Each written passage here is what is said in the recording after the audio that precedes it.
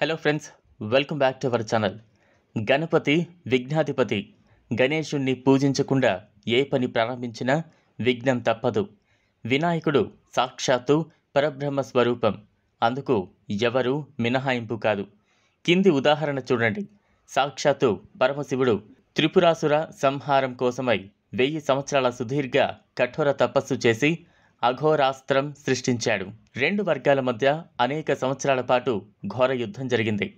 అయినా శివుడు అఘోరాస్త్రం ప్రయోగించే అవకాశం రాకపోవడంతో ఏం చెయ్యాలో తోచలేదు. అప్పుడు ఆత్మస్వరూపుడైన శ్రీ మహావిష్ణువును ప్రార్థించాడు మహాశివుడు. శివుని ప్రార్థన ఆలకించి విష్ణుమూర్తి ప్రత్యక్షమై మందహాసం చేశాడు. క్షణమాగి ఏ పని తలపెట్టినా విఘ్నేశ్వరుని ముందుగా పూజించి ఆ తర్వాతే పని ప్రారంభించాలి. లేకుంటే పని విజయవంతం కాదు. నువ్వు లయకారుడివి. గణపతి నీ కొడుకేనన్న భావంతో గణపతిని ప్రార్థించకుండా యుద్ధభూమిలో దిగావు. అందుకే నీకు అఘోరాస్త్రం ప్రయోగించే అవకాశం రాలేదు. ఇప్పటికైనా మించిపోయింది లేదు. విఘ్నేశ్వరుడు నీ పుత్రుడేనన్న సంగతి కాసేపు పక్కన పెట్టి పరబ్రహ్మ స్వరూపంగా భావించు. గణపతిని ధ్యానించు. ఆవాహనం చేయి. షోడసోపచార విధులతో పూజించు.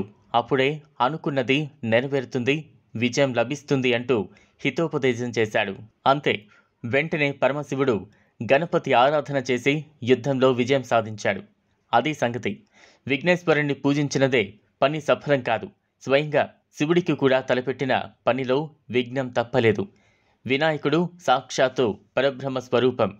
వినాయకుడు వివిధ దేశాలలో పూజలు అందుకుంటున్నాడు భక్తితో పూజలు దేవాలయాలు నిర్మించి నిత్యం పూజాధికాలు నిర్వహిస్తున్నారు. ఒక రకంగా ఇప్పుడు గణేశుడు ప్రపంచ ప్రసిద్ధ ఐకాన్ ఐ బుద్ధుణ్ణి మించిపోయాడని తెలియజేస్తోంది. ఓంకార స్వరూపంలో విఘ్నేశ్వరుడు మొదటి మూర్తి అని స్వయంభూ అని అంటారు. చెట్ల కాండాలలో గణపతి ఆకృతులు కనిపిస్తాయి. అక్కడే స్వామిని దర్శించి తరిస్తున్నారు. ఇందుగలడు అందులేడు అనే సందేహమే లేదిప్పుడు రుద్రాక్షలలో జాతిరాళ్ళలో పూసల్లో పార్వతీ నందనుడు ప్రత్యక్షమవుతూనే ఉన్నాడు.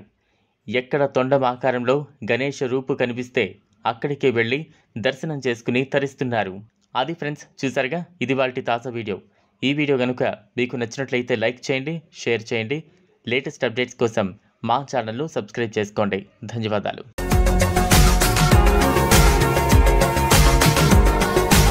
మరిన్ని అప్డేట్స్ కోసం మా ఛానల్ని సబ్స్క్రైబ్ చేయండి.